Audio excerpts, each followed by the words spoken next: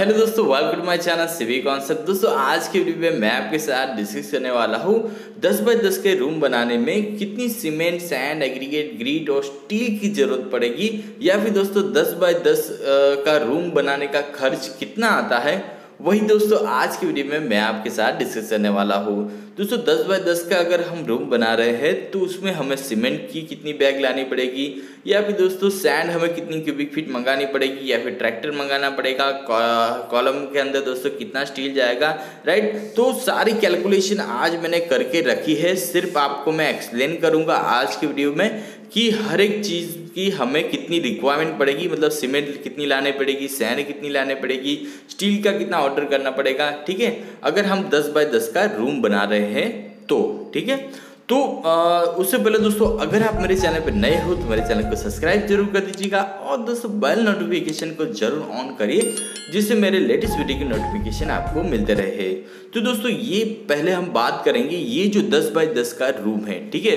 तो ये जो 10 बाय 10 फीट का रूम है, इसमें आप देख सकते हैं कि अंदर 10 बाय 10 फुट है, बट बाहर आप देखोगे तो 11 फीट चेंज हो जाएगा, क्योंकि इसके अंदर जो वॉल है, वो भी ऐड हो जाएगी, ठीक है? वॉल और विथ प्लास्टर ऐड हो जाएगी, इसलिए छः इंच मैंने वो बढ़ा दिया है, ठीक है? तो ये एक्स्ट्रा ऐड हो जाएगा। और यहाँ पे देखिए, चार कॉलम आएँगे, एक डोर आएगा, एक विंडो आएगी, एक जो कॉलम की साइज़ रहेगी, वो नौ इंच बाय नौ इंच का कॉलम रहेगा और बीम की साइज़ जो रहेगी और नौ इंच बाय बारह इंच का यहाँ पर बीम है जो वॉल है, इसके ऊपर बीम आएगा, ठीक है? तो इस तरह से दोस्तों, यहाँ पे हमारा वन बाय वन का दस बाय दस का रूम है।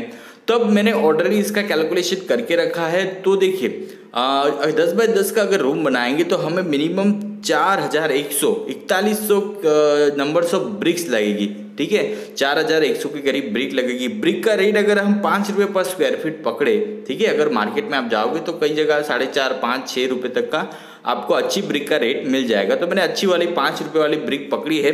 तो इकतालीस सौ मल्टीप्लाइड बाय पाँच करेंगे तो मुझे करीबन बीस हज़ार पाँच सौ रुपये की ब्रिक्स लानी पड़ेगी। इकतालीस सौ ब्रिक मतलब एक ट्रैक्टर आप ब्रिक मंगाएँगे तो बीस हज़ार के करीब वो आपको पड़ जाएगी, ठीक है? अठारह से बाईस हज़ार की रेंज होती है। जनरली एक ट्रैक्टर में चार हज़ार ब्रिक आ सकती है, ठीक है? तो ये दोस्तों हम मंगा सकते हैं। बीस हज़ार के करीब हमारा ब्रिक का कॉस्ट होगा। अगर हम वन रूम बना रहे हैं उसके बाद ब्रिक अगर वर्क करेंगे, ब्रिक मशीनरी वर्क करेंगे तो उसके अंदर जो सीमेंट लगेगी, वो करीबन अठारह बैग सीमेंट लगेगी ठीक है? जो हम मशीनरी वर्क करेंगे दीवार का दीवार बनाएँगे, उसमें अठारह बैग सीमेंट लगेगी। सीमेंट का रेट अभी तीन सौ चालीस रुपये पर बैग चल रहा है। हमारे एरिया में, आपके एरिया में कम ज़्यादा हो सकता है, ठीक है? तो अठारह के हिसाब से करीबन छः हज़ार एक सौ बीस की क्या लगेगी मुझे? सीमेंट लगेगी, ठीक है? अठारह बैग सीमेंट मुझे ऑर्डर करनी पड़ेगी ब्रिक वर्क के लिए। उसके बाद, उसी के अंदर दोस्तों, अगर हम ब्रिक वर्क कर रहे हैं, ठीक है? तो उसमें पैंसठ क्यूबिक फीट के करीब दोस्तों हमें सैन लगेगी। पैंसठ क्यूबिक फीट और एक क्यूबिक फीट का रेट पचास रुपये चल रहा है तो उसके हिसाब से पैंसठ मल्टीप्लाइड बाई पचास तो करीबन बत्तीस सौ पचास की मतलब दोस्तों ये करीबन एक ट्रैक्टर के करीब ही हो गया। आपको एक ट्रैक्टर मंगा लोगे तो आपको अच्छा रहेगा। तो बत्तीस सौ पचास की क्या हो गई? मेरी सैंड हो जाएगी, ठीक है? अब ये हो गई दोस्तों हमारी बात कि हमने ब्रिक वर्क कर लिया। अब ब्रिक वर्क कर लिया तो अब बात करेंगे आरसीसी कॉलम की, ठीक है? तो आरसीसी कॉलम जो है, ठीक है, हमारा जो आरसीसी कॉलम है वो एक कॉलम में करीबन 206 क्यूबिक फीट कंक्रीट जाता है, देखिए। तो ये देखिए 9 बाय 9 इंच का कॉलम है और इसकी जो हाइट है इसकी जो हाइट है वो करीबन है दोस्तों दस फीट के करीब आप पकड़ लीजिए, ठीक है? नौ इंच बाय नौ इंच का कॉलम और दस फीट की अगर हाइट पकड़ेंगे, दोस्तों एक कॉलम में छः क्यूबिक फीट कंक्रीट हमारा जा रहा है तो चार कॉलम में करीबन दो चौबीस क्यूबिक फीट कंक्रीट जाएगा। उसी तरह से आरसीसी बीम की बात करें तो बीम की साइज़ हमारी कितनी है? नौ इंच बाय बारह इंच है, उसकी जो लेंथ रहेगी वो दस फीट रहेगी, ठीक है? इन टू इन है तो उसकी जो लंबाई है वो दस फीट रहेगी। ये दस फीट रहेगी, ठीक है? तो दस फीट मतलब देखिए बीम यहाँ से यहाँ तक जाएगा तो चार बीम मेरे हो जाएँगे, ठीक है? तो चार बीम अगर एक बीम में मेरा साढ़े सात क्यूबिक फीट कंक्रीट जा रहा है तो चार बीम में मेरा तीस क्यूबिक फीट कंक्रीट जाएगा। उसी तरह से आरसीसी स्लैब की बात करें तो मेरा जो आरसीसी स्लैब है, साढ़े ग्यारह फीट बाय साढ़े ग्यारह फीट है, ठीक है? तो अगर हम टोटल करेंगे तो तो साढ़े ग्यारह फीट बाय साढ़े ग्यारह फीट मतलब करीबन दोस्तों फोर्टी नाइन क्यूबिक फीट दोस्तों हमें क्या लगेगा? कंक्रीट लगेगा। ठीक है?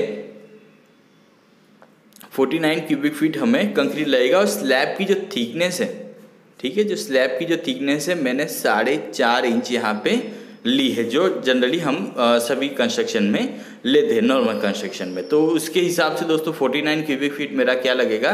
कंक्रीट लगेगा स्लैब के अंदर। टोटल कंक्रीट हो गया 103 क्यूबिक फीट कंक्रीट लगेगा। किसमें आरसीसी कॉलम, बीम और स्लैब में मिलाकर टोटल 103 क्यूबिक फीट कंक्रीट मुझे लगने वाला है, ठीक है?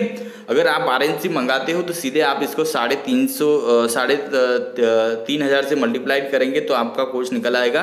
पर यहाँ पे मैं हैंड मिक्स कंक्रीट यूज़ करने वाला हूँ तो मुझे एक सौ तीन क्यूबिक फीट के लिए करीबन तेईस बैग सीमेंट लगेगी और बैग का रेट तीन सौ चालीस चल रहा है तो इस हिसाब से तेईस मल्टीप्लाइड बाई तीन सौ चालीस, सात सात हज़ार आठ सौ बीस की मुझे सीमेंट लग जाएगी ये तीन चीज़ें बनाने के लिए। सैन मेरी बयालीस क्यूबिक फीट लगेगी, पचास रुपये पर क्यूबिक फीट का रेट है तो करीबन इक्कीस सौ रुपये की मुझे सैन लग जाएगी। एग्रीगेट 200 करीबन पंचासी क्यूबिक फीट लगेगा तो पिस्तालीस फोर्टी फाइव रुपये का क्यूबिक फीट का अगर रेट चल रहा है मार्केट में तो करीबन बाईस सौ पचास रुपये की क्या लग जाएगी मुझे? एग्रीगेट मतलब ग्रेवल लग जाएगी, ठीक है? अब स्टील बार्स की बात करें तो यहाँ पर हमें हमने जो कंस्ट्रक्शन किया था, उसमें तीन सौ सैंतीस के जी क्यूबिक के जी जो सो स्टील लगता है। किसमें ये जो कॉलम है बीम और स्लैब मिलाकर तो मतलब तीन सौ से साढ़े तीन सौ के जी जितना स्टील यूज़ हो जाता है। तो पचास रुपये पर के जी का रेट पकड़े अलग अलग डायगर छोड़ दे एवरेज अब पचास लेते हैं तो करीबन सोलह हज़ार आठ सौ पचास रुपये का स्टील हमारा इसके अंदर लग जाएगा, ठीक है? टाइल्स वर्क हमारा होगा करीबन जो हम टाइल्स लगाएँगे इसके अंदर, वो करीबन सौ क्यूबिक फीट की का टाइल्स वर्क होगा, ठीक है? अंदर देखिए, दस बाय दस मतलब टोटल जो टाइल्स लगेगी वो दस बाय दस में सौ क्यूबिक स्क्वायर फीट में हमारी टाइल्स लगने वाली है, ठीक है? तो सौ स्क्वायर फीट में हमारी अगर टाइल्स लगती है तो और पच्चीस रुपये पर स्क्वायर फीट का अगर हम टाइल्स का रेट पकड़े तो करीबन साढ़े पच्चीस सौ रुपये क्या हो जाएगा? हमारा टाइल्स का कॉस्टिंग आ जाएगा, ठीक है? तो टोटल मिलाकर अगर हम ये जा, सारे जो मटेरियल है, इनका अगर मैं टोटल करता हूँ तो मेरा मटेरियल कोस्ट जो है टोटल मटेरियल कोस्ट ठीक है टोटल मेरा मटेरियल कॉस्ट इकसठ हज़ार तीन सौ नब्बे रुपये का मटेरियल है। इसमें दोस्तों थोड़े बहुत मटेरियल छूट भी जाते हैं, जो माइनर माइनर है, मैंने पकड़े नहीं है तो प्लस माइनस आप पकड़ सकते हैं। तो यहाँ पे मटेरियल कॉस्ट जो है, वो इकसठ हज़ार तीन सौ नब्बे का हो गया। अब ये डिपेंड करता है आपके एरिया में लेबर कॉस्ट अगर टोटल अगर आप देखिए आउट टू आउट कंसीडर होता है स्लैब का जो एरिया है, वही कंसीडर होता है। तो ग्यारह ग्यारह मतलब ये जो बाहर का एरिया है, वही कंसीडर होगा, ठीक है? तो ये जो है स्लैब का एरिया ही काउंट करते हैं। तो ये करीबन हमारा कितना है? 132 स्क्वायर फीट यहाँ पे हो रहा है। और दो सौ पर स्क्वायर फीट अगर लेबर चार्ज है कॉन्ट्रैक्टर लेबर चार्ज कर कर रहा है आपके एरिया में, ठीक है? दो सौ पर स्क्वायर फीट तो एक सौ बत्तीस इंटू दो सौ सत्तर करीबन पैंतीस हज़ार छः सौ चालीस रुपये के करीब आपका लेबर चार्ज हो जाएगा। मतलब आपकी जो लेबर वर्क करेंगे, ठीक है, उसका ही चार्ज हो जाएगा करीबन पैंतीस हज़ार छः सौ चालीस रुपये ठीक है? अब दोनों का हम मिला देंगे, दोनों का अगर हम प्लस करेंगे तो करीबन सत्तानवे हज़ार तीस रुपये तो राउंड फिगर आप पकड़ लीजिए कि आपको दस बाय दस का जो रूम बना रहे हो, ठीक है, उसमें एक लाख रुपए की ज़रूरत पड़ेगी। अब इसमें एडिशनल वर्क जो है मैंने इंक्लूड नहीं किया है इलेक्ट्रिकल प्लम्बिंग प्लास्टर वर्क जो है यहाँ पे इंक्लूड नहीं है, पर इसका आप पंद्रह, दस, पंद्रह हज़ार और पकड़ लीजिए तो करीबन दोस्तों एक लाख दस हज़ार, पंद्रह पंद्रह हज़ार या फिर बीस हज़ार में ज़्यादा से ज़्यादा दोस्तों आपका काम हो जाएगा। बट दोस्तों, इसमें कॉन्ट्रैक्टर अपना प्रॉफिट पकड़ता है। मतलब दस बाय दस का अगर रूम बनाओगे तो ज़रूर आपको कॉन्ट्रैक्टर डेढ़ लाख बोलेगा, पर आपको उसको कम कराना है। एक लाख बीस में ही आपको उसको फिक्स करना है। ठीक है दोस्तों? तो ये था दोस्तों दस बाय दस स्क्वायर फीट में का रूम बनाने में। कितनी सीमेंट सैन एग्रीगेट लगती है स्टील लगता है। और फाइनली उसका कोस्ट क्या रखता है वो दोस्तों मैंने आपको आज को प्रैक्टिकली कैलकुलेट कर